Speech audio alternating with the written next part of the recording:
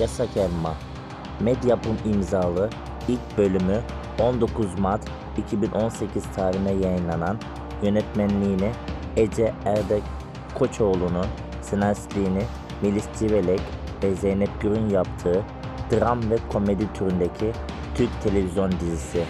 6 sezonla oluşan dizi 5 Haziran 2023 tarihinde yayınlanan 177. bölümü ile final yaparak sona erdi. Dizide birçok yönetmen değişikliği olundu. 1 ile 74. bölüm arasında yönetmenliği Neslihan Yeşilyurt, 75.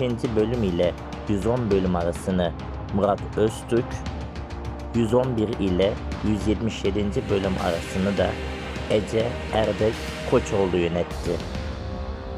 Dizinin kazandığı bazı ödüller 2019 yılında 3. Kariyer Onursal Ödülleri'nde yılın en beğenilen televizyon dizisini Yasak Elma kazandı. Yılın en iyi çıkış yapan kadın oyuncusu ödülünü Sevda Erginci, yılın en beğenilen kadın dizi oyuncusu Eda Ece ve yılın kariyer onur ödülünü Şevval Sam kazandı.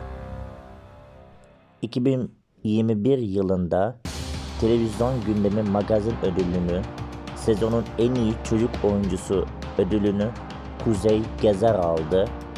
5. Türkiye Altın Marka ödüllerinde yılın kadın televizyon oyuncusunu Biran Damla Yılmaz aldı. 6 Er Akademi Moda ödüllerinde yılın en stil dizisi ödülünü Yasak Elma aldı. Yılın en stil kadın oyuncusunu Eda Ece kazandı. KOU Face to Face ödül töreninde de yılın en iyi kadın oyuncusu ödülünü Eda Ece kazandı.